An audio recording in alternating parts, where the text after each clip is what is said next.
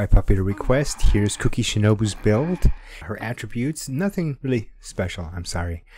Down here she's got electro damage bonus of 34%. She has Amenoma Kageuchi. I borrowed it from Ayaka Artifacts. Again, nothing really special for tenacity. The helmet is Emblem for elemental mastery. Otherwise, she's got electro damage bonus of 34%. HP, attack with elemental mastery and energy recharge, and HP elemental mastery, and crit. Her constellations, she's a C0 because I did not roll any more after I got her. And for talents, they're at 287. But that's my Kuki Shinobu. Um, sub DPS, healer, electro, um, supercharge, Bufferator. Oh, and with the new uh, dual electro coming up, I just thought it would be interesting to run her with Raiden, uh, which you might have seen in my chicken video.